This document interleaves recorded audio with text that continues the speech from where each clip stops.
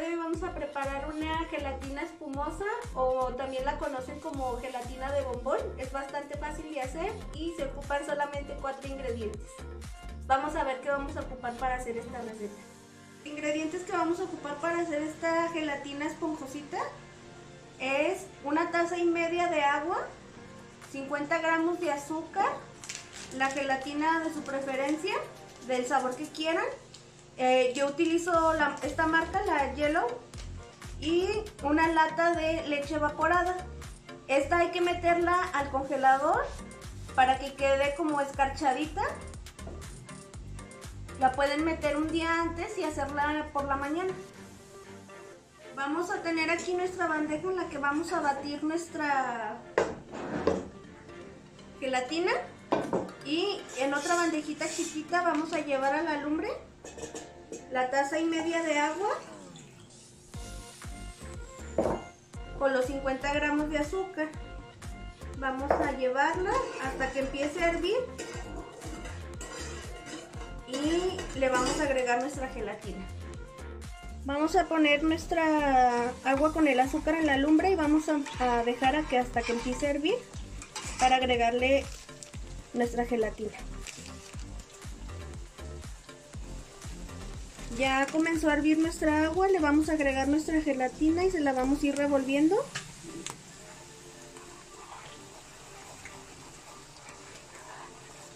Pueden utilizar el sabor que más les guste y le vamos a apagar. Ya nada más vamos a revolverlo bien y ponerlo en un lugar a que se enfríe, pero que no vaya a cuajar nada. Aquí tenemos nuestro recipiente o bandeja en la que lo vamos a batir y también hay que tener lista en donde la vamos a vaciar ya que este tipo de gelatina cuaja muy rápido. Vamos a vaciar nuestra leche evaporada en nuestro recipiente. Si se dan cuenta está como escarchadita, como un raspado más o menos. Esa es la consistencia que debe de tener. Yo la metí un día antes al refrigerador para que empezara a cuajar.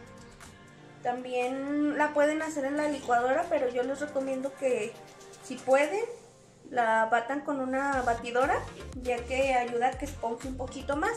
Antes de comenzar a, antes de comenzar a batir, recuerden que su gelatina, que ya agregamos el azúcar, debe de estar tibio, casi frío, para eh, agregársela aquí. Entonces vamos a comenzar.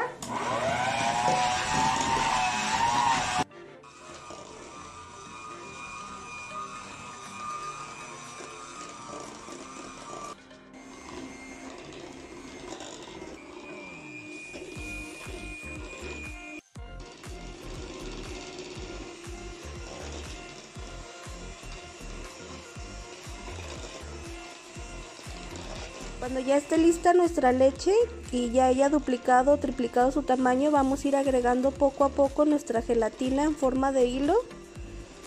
Y la gelatina, recuerden, debe de estar ya fría. Hay que incorporarla toda muy bien y seguir batiendo.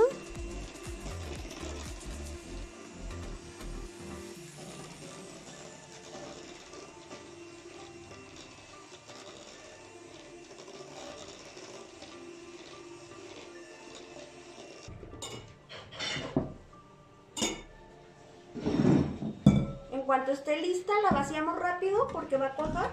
Hay que vaciarla todo. Y como les menciono, pueden hacerla del sabor que más les guste. Todos los sabores saben ricos. listo, nada más la vamos a dejar así. Y la vamos a llevar al refrigerador mínimo unos 20-30 minutos y ya va a estar lista. Ya sacamos nuestra gelatina del refrigerador y la vamos a probar. Aquí está mi sobrina que hasta combina con la gelatina, también anda de amarillo. Y ya vamos a probarla ahorita, a ver cómo nos quedó.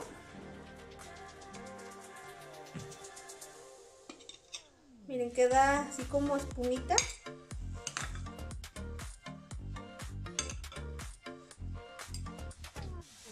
¿Quieres probar?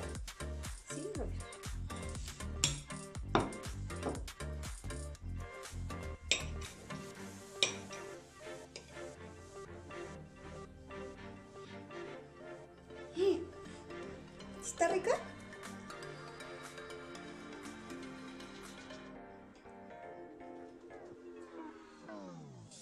Mm. Sabe bastante rica la gelatina. Les invito a que la preparen y también que la hagan del sabor que más les guste. Bueno, antes de terminar nuestra degustación de la gelatina, les voy a enseñar. El día de hoy es el aniversario de mis papás y preparamos un pastel de, de arroz con coco que ya lo tenemos en nuestro canal para que pasen a ver la receta. Y también preparamos el pastel de naranja que ya les había mencionado yo que nosotros de, lo hacemos cada año en el aniversario de ellos y para acordarnos de, que mi tía ella les regaló ese pastel y ellos este, les gusta prepararse cada año la comida que dieron el día de su boda y hoy estamos festejando y pues también vamos a partir estas ricas delicias. Bueno, ya nada más por último les quiero agradecer a todas las personas que se han suscrito a mi canal y nos vemos en nuestro próximo video. Espero que les guste esta receta. Próxima. Adiós. Bueno amigos, aquí les dejo un poco de las imágenes de lo que comimos este día, que fue un asado, asado de bodas, frijolitos, rajas y arrocito. Si ustedes quieren, coméntenme, pónganme en los comentarios si quieren que hagamos esa receta. Suscríbete, dale like y comparte este video. Hasta la próxima.